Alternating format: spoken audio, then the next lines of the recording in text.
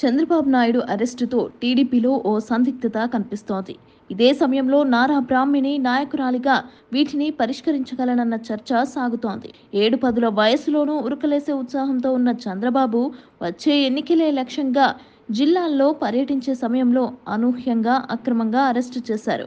ఇప్పుడు చంద్రబాబు రాజమండ్రి సెంట్రల్ జైల్లో ఉన్నారు. ఇదే సమయంలో నారా లోకేష్ యువగలం పాదయాత్రకు కూడా తాత్కాలిక విరామం ఇచ్చారు. తండ్రి అరెస్టుకు వ్యతిరేకంగానే దేశవ్యాప్తంగా మద్దతు కూడగట్టే పనిలో ఉన్నారు.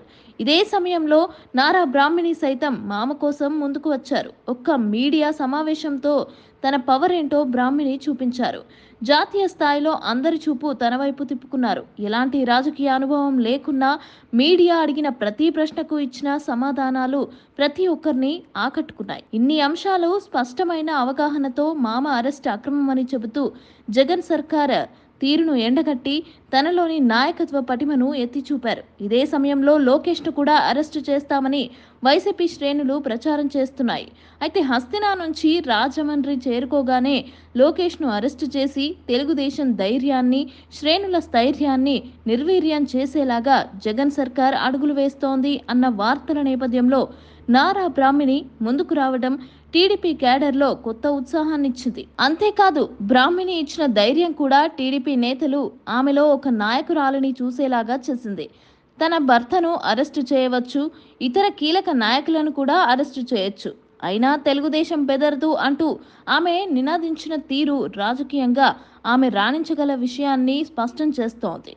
ఇక ఒకవైపు లోకేష్ జాతీయ మీడియా ప్రతినిధులతో భేటీలవుతున్నారు. జగన్ సర్కార్ అరాచక విధానాలను ఎండగడుతున్నాడు. మరోవైపు చంద్రబాబు అరెస్టును వ్యతిరేకిస్తూ రాష్ట్ర వ్యాప్తంగా నిరసనలు వెల్లువెత్తుతున్నాయి. చంద్రబాబు అరెస్టుకు వ్యతిరేకంగా దేశం మొత్తం కూడా నిరసన గలం వినిపిస్తోంది. ఇదే సమయంలో నారా బ్రాహ్మిణి టీడీపీ అధినేత అరెస్టును వ్యతిరేకిస్తూ పార్టీ శ్రేణులకు ధైర్యాన్నిస్తూ ముందడుగు వేయటం తెలుగుదేశం పార్టీ క్యాడర్కి కొండంత బలాన్ని ఇచ్చిందనే చెప్పవచ్చు.